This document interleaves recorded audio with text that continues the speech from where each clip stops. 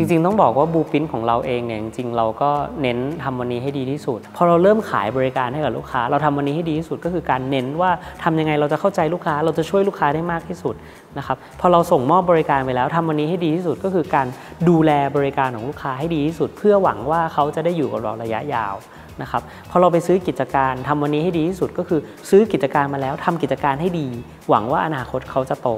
นะครับแล้วก็ตัวสุดท้ายเวลาเราจะไปซื้อกิจการใหม่ๆเข้ามาทำวันนี้ให้ดีที่สุดก็คือต้องเป็นกิจการที่ดี กิจการที่เราอิน กิจการที่เราอยากทำเพราะว่าถ้าเราไม่อยากทำแล้วเราไปซื้อมาเนี่ยเราก็จะไม่มี passion ในการทำฉะนั้นกลยุทธ์กลับมาหาบูปินนะครับก็คือทำวันนี้ให้ดีที่สุดในทุกๆโอกาสที่เราสามารถทำได้